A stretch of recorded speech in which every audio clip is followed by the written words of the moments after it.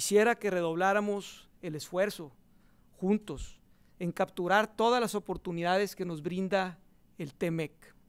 Para hacer esto, tenemos que crear las condiciones necesarias para atraer la inversión a nuestro Estado y a nuestro país. Hay que aprovechar la situación de tensión política entre China y Estados Unidos, que nos posiciona de una manera única para capitalizar esta oportunidad. Sin embargo, para poder lograrlo, repito, necesitamos crear las condiciones necesarias para conseguir y obtener la confianza de los inversionistas que nos permitan traer esa inversión al Estado y al país.